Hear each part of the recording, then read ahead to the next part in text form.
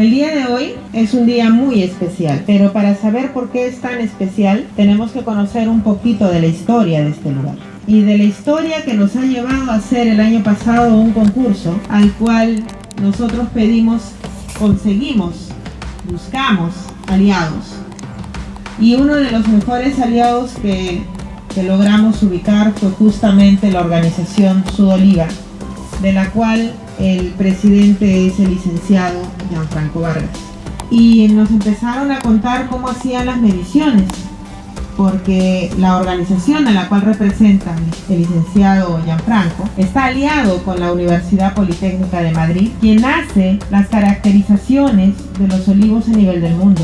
Y el 2020 tengo la oportunidad que me da el señor gobernador regional de hacerme cargo de la gerencia de comercio exterior y turismo. Y lo primero que se vino a la cabeza de nosotros es ¿y, y por qué no poner en valor los olivos que están en el algarrobal y que ya había una data que uno de los olivos más antiguos estaba en el fondo Tokunaga, datado justamente el 2017 en esta misión que hizo la Universidad Politécnica de Madrid.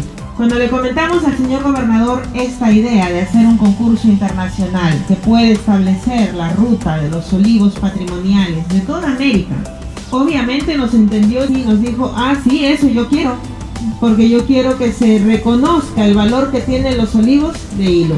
Sin miedo, lanzamos este concurso en el cual hemos tenido ganadores desde Argentina, pasando por Chile, Uruguay, Brasil, Perú, México, Estados Unidos, en donde han dicho aquí hay olivos patrimoniales, olivos centenarios. Hilo en este concurso gana una denominación muy importante. Y esto es debido a que en Hilo, en el distrito del Algarrobal, la mayoría de sus olivos antiguos pasan de los 450 años. Y es por ello que en este momento tenemos como ganadores, por ejemplo, el Fundo Poquera. En este fondo tenemos los olivos más antiguos de América del Sur. No es más antiguo del Perú, es el más antiguo de América del Sur. Miren lo que tenemos, miren el tesoro, la joya. Y en la zona de Osmore tenemos los olivos más altos de América. Una vez que hemos planteado la ruta que va desde Argentina, como les digo, hasta Estados Unidos y donde obligatoriamente aquel turista amante de los olivos que está en Europa, que está en el viejo continente, van a querer venir a conocer después de que esta pandemia nos lo permita, sí o sí van a llegar a Hilo. Y sí o sí van a venir a este distrito. El día de hoy vamos a tener el honor de entregarles una señalética, pues esta señalética simboliza una franquicia y, y, también simboliza, como hace poquito se los decía cuando hemos ido a develar la placa, el inicio que está poniendo Moquegua para decir esta es la ruta de los olivos patrimoniales del sur del Perú.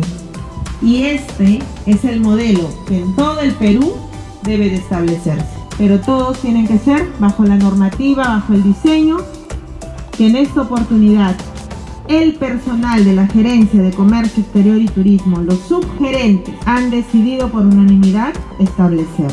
Por eso es que también se los decía, yo agradezco mucho el trabajo en conjunto que hemos venido haciendo, porque son gente, mi equipo, gente muy preparada. Y las municipalidades no han dicho no quiero. Las municipalidades provincial de Hilo, distrital del Algarrobal, la de Pacocha han dicho aquí estoy, yo también me sumo.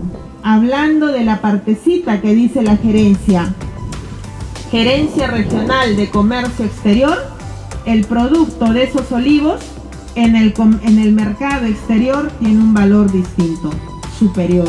En el mes de abril, gracias a otra alianza que hemos hecho con el sitio agroindustrial, han sacado los primeros mil litros de aceite de olivos patrimoniales premium para Brasil. Son los primeros, no son los últimos. Y esta organización nos está abriendo puertas con empresas italianas que también están esperando nuestros productos. ¿Cuál es la diferencia de un aceite de olivo normal y de un aceite de olivo patrimonial? El aceite de olivo normal, el litro lo podemos encontrar 14 soles, 15 soles. El aceite de un olivo patrimonial, dependiendo del país donde se venda, puede estar 14 dólares, 15 dólares. Esa es la diferencia.